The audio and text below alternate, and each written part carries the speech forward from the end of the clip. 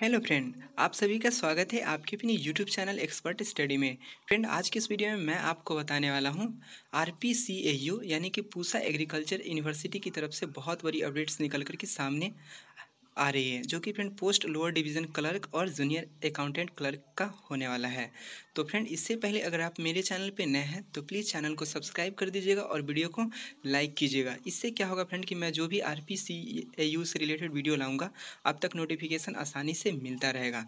तो फ्रेंड चलिए बात करते हैं लोअर डिवीज़न क्लर्क और junior accountant clerk important notification के बारे में।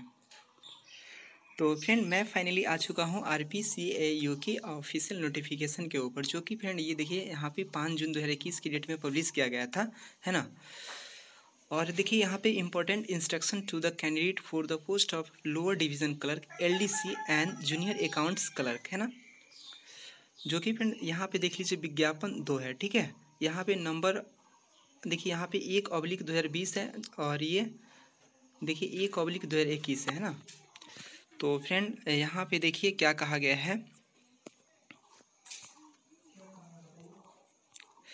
देखिए, यहाँ पे important instruction and appeal to all the applicants ठीक है? यानी कि सभी एप्लीकेंट्स के लिए यह इन्फॉर्मेशन दिया गया है कि आपने इस विश्वविद्यालय के विज्ञापन संख्या एक अब्लिक दो हज़ार बीस और एक अब्लिक दो हज़ार इक्कीस के अंतर्गत विज्ञापित।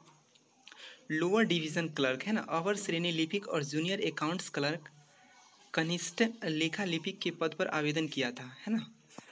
मुझे यह सूचित करते हुए हर सै की स्क्रीनिंग शॉर्ट लिस्टेड कमेटी द्वारा निर्धारित किए गए मापदंडों के अनुसार दिए आवेदकों का नाम annexure one and annexure two list में है।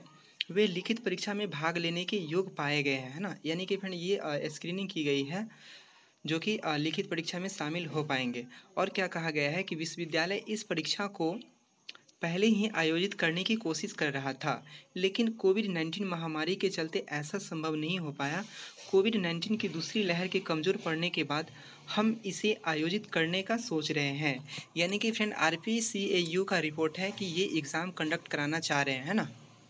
आपकी सुरक्षा को ध्यान में रखते हुए यह निर्णय लिया गया है कि परीक्षा के समय कोविड नाइन्टीन के सभी प्रोटोकॉल का अनुपालन किया जाए, है ना? यानी कि फ्रेंड इसी दौरान एग्ज़ाम लेने के बारे में आर यू ने सोचा है।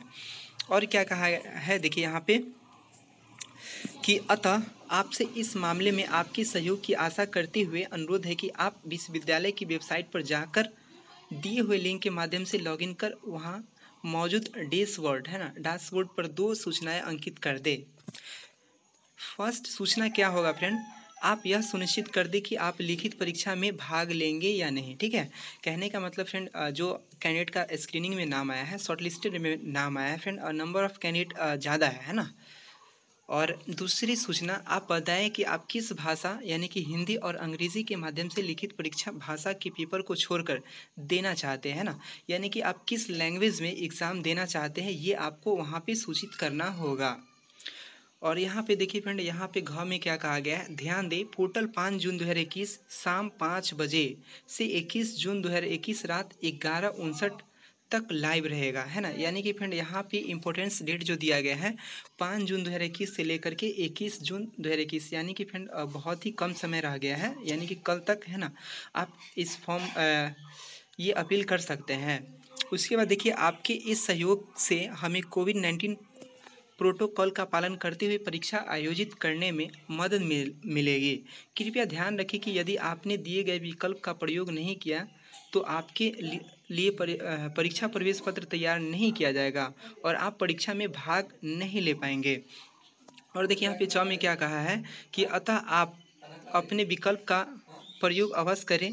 परीक्षा की तिथियों की सूचना कोविड नाइन्टीन के प्रभाव को ध्यान में रखते हुए विश्वविद्यालय वेबसाइट पर दी जाएगी। संभावित रूप से परीक्षा जुलाई के पहले पखवाड़े में, यानी कि एक जुलाई से चौदह जुलाई 2021 के बीच आयोजित की जाएगी। यानी कि फ्रेंड, देखिए यहाँ पे यह भी एक्सपेक्टेड डेट बताया जा रहा है कि आपका जो एग्जामिनेशन होगा फ्रेंड, एक जुलाई से दो हज़ार एक जुलाई दो हज़ार इक्कीस से चौदह जुलाई दो हज़ार इक्कीस के बीच में कराया जा सकता है ना? ये मे भी एक्सपेक्टेड है ना? तो यही वो अपडेट्स था। फ्रेंड, आप लोगों को यह मैसेज गया होगा, है ना? आपने फॉर्म भरते समय जिस मोबाइल नंबर का यूज़ किया होगा, उस पर ये R P C A U की तरफ़ से मिल गया होगा, है ना? तो तो फ्रेंड, आप आसानी से इसे फिल कर सकते हैं। चलिए, मैं आपको दिखाता हूँ मैं भी किया हूँ, है ना? देखिए फ्रेंड, आपको इसके लिए R P C A U की ऑफिशियल साइट पे जाना होगा, ठीक है? और आर पी सी के ऑफिशियल साइट पे जा कर के फ्रेंड, आपको अपना रजिस्ट्रेशन नंबर फिल करना होगा और विज्ञापन संख्या भी फिल करना पड़ेगा और डेट ऑफ़ बर्थ भी फिल करना पड़ेगा। उसके बाद देखिए फ्रेंड, आपका इस तरह का इंटरफेस खुल जाएगा। तो देखिए यहाँ पे medium of paper instructions in which applicants wants to give their written examination यानी कि कैंडिडेट किस लैंग्वेज में एग्ज़ाम देना चाहते हैं ना, किस भाषा में एग्ज़ाम देना चाहते हैं तो यहाँ पे मैंने सेलेक्ट किया है हिंदी और willingness to appear in written examination यानी कि आप एग्ज़ाम में उपस्थित होना चाहते हैं कि नहीं, है ना? तो येस कर दिया हूँ तो यही वो अपडेट्स था। तो फ्रेंड आज के लिए इतना ही रखता हूँ और फ्रेंड मैं आपको R P C A U की ऑल जानकारी शेयर करूँगा, ठीक है? इसलिए चैनल को सब्सक्राइब कर लीजिए। फ्रेंड आज के लिए इतना ही। फिर मिलते हैं आपके साथ नेक्स्ट वीडियो में और बात करेंगे नेक्स्ट अपडेट